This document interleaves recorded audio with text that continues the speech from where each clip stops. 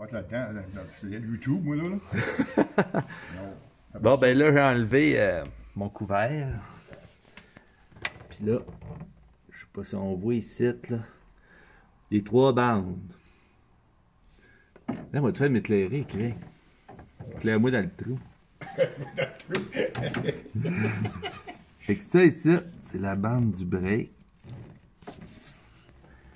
Puis là, on voit ici le feutre, là. Il est pas vieux. C'est comme un feutre. Après ça, t'as la bande ici du reculon. On que ça twist. Puis la bande dans le milieu, c'est celle-là pour la grande, pour la vitesse. Puis celle-là est ajustable avec la note qu'il y a là. Fait que c'est ça en gros. La tête du starter est ici. Fait que c'est là-dedans qu'apparemment on met trois peintes d'huile, puis l'autre on la met en avant. Là.